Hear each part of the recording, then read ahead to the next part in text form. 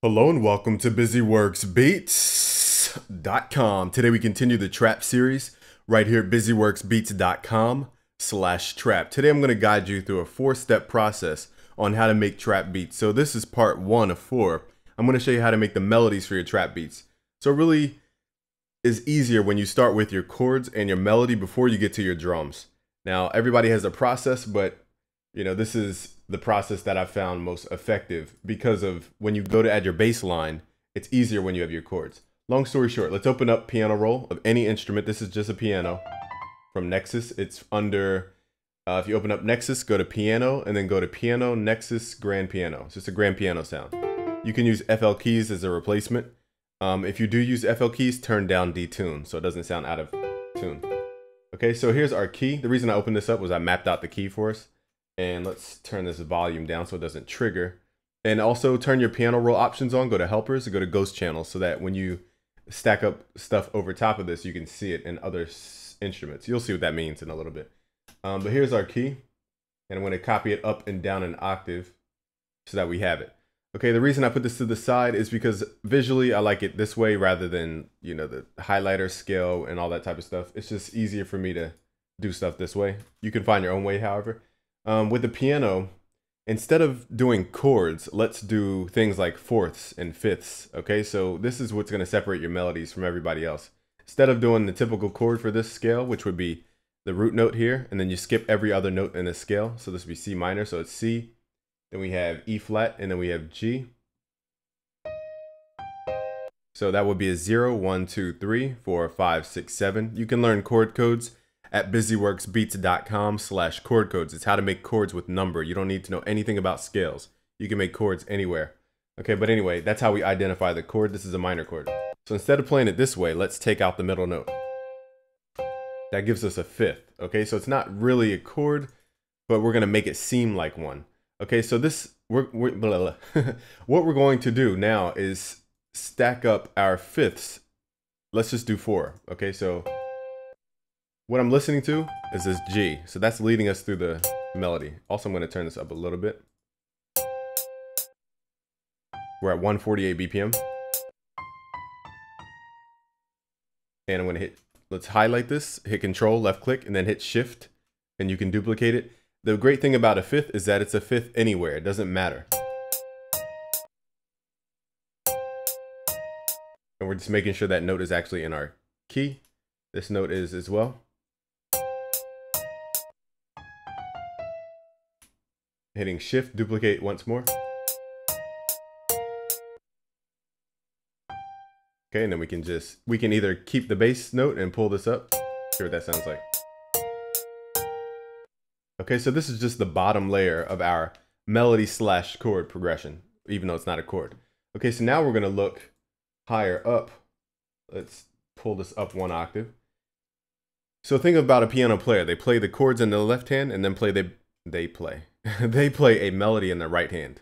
Okay, I'm jumping ahead of myself in my head, trying to get a thousand words out in two seconds. But anyway, they play chords in their left hand and play melody in their right hand. Okay, so that's the same mindset we have here. What I'm going to do though is pull this down an octave. Let's hit control down. Now, actually, let's not do that because later I'll show you how to make it sound an octave lower. The reason we don't want to do too low is because when we go to add effects like halftime and all these things, we don't want it to sound too bassy. You'll see what that means again in the future again, here's a side note. I don't want to keep going on and on and on about stuff, but trap melodies are not really based on what you hear it as. It's the it's the effects you add to it. So it's not really what you hear it as. It's the stuff you do to it to make it sound trappy. So trap you really can't hear in the moment unless it's a straight melody like a piano. Okay. So here's where we add the bounciness. So instead of doing one, two, three, four, two, two, three, you know, that kind of we're gonna add a little bounce to it. So bum bum bum bum bum bum bum bum bum bum bum bum bum bum bum bum. So that's what I have in my head. I'm just gonna map it out. Now I'm just hoping we're in a key.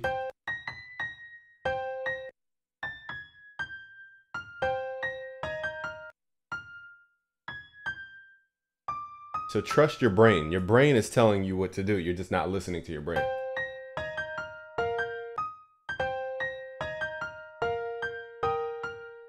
Okay, so now that's our melody. Let me da -da -da make sure. Now you can add little humanize, humanizing things in here. If you're advanced, you can duplicate the note, for example, shorten it, grab this top note and hit Alt, and then hit right, and you know nudge it to the right. And if you want to hear a little more of a slide, you can hit Alt right one more, a couple more times. So now it's ding ding ding ding ding ding. Also, another way to make it more human is to actually use velocity. I'm not going to add velocity here because it's just unnecessary. unnecessary. But if I wanted to, it'd be boom, boom, boom, boom, boom, boom, boom, boom, boom. Okay, that's how the energy's flowing. So it's loud, quiet, loud, quiet, loud, quiet, loud, quiet. So let's.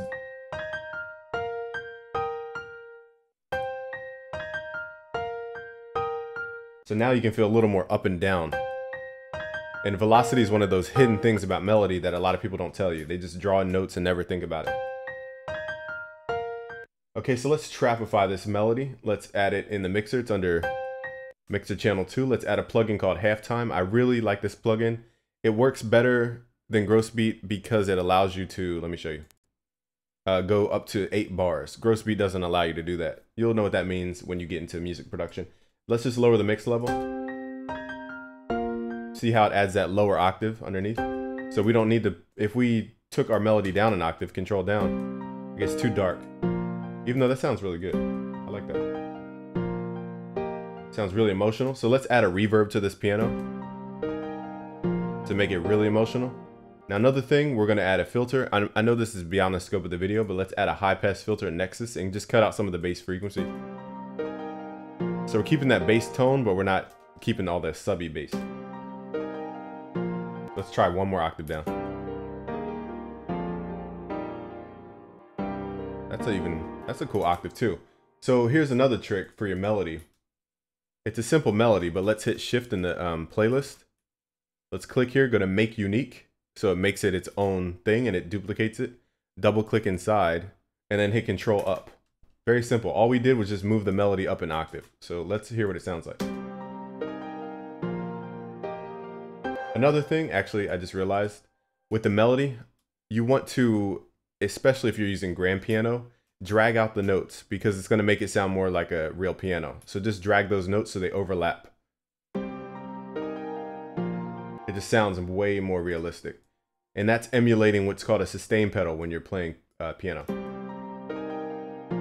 So you can drag these notes out as long as you want, as long as it doesn't get too chaotic.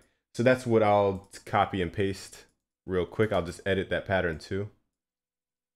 Pull it back up an octave.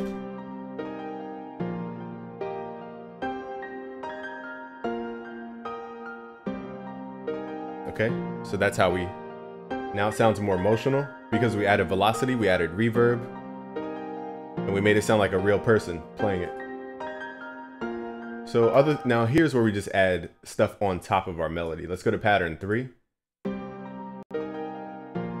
I have a library here from Sound Iron called Voice of Wind 80 or Addy. I just say Addy. Pull up with your Addy. So I'm going to layer this. So what I'm going to do is go back to the chord part, which is the bottom portion. Let's hit control, left click and highlight, hit control C. So now you can see our melodies turning into this more complex thing, but all we're really doing is just doing simple things. Moving stuff up an octave, moving stuff down an octave, layering. I mean, and again, let's run this through mixer channel two. So it gets the same effects. I'm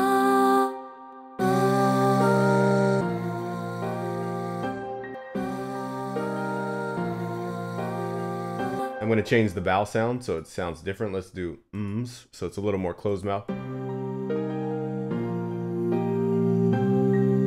Give you that kind of haunted Travis Scott sound. Now this isn't filtered, so we have to add a filter manually. Let's add parametric EQ2. Switches to a high pass filter. Let's cut out them lows. So now we have a creepy vibe going. Now on top of this, you can add another gross beat. That's why I said this gets way more complex than just notes. So on gro in gross beat, what I like to do is just right click, add some points in here, then right click the top point, change it to a single curve, and just kind of fade it up. So the note kind of swells up in the end. It adds a little dynamic to your track. You don't have to make it so dramatic here. For example, you can make this more of a linear thing.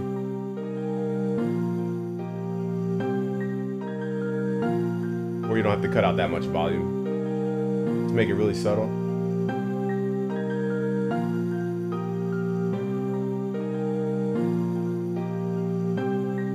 Okay, you can, you can even add little melodic things on top of that.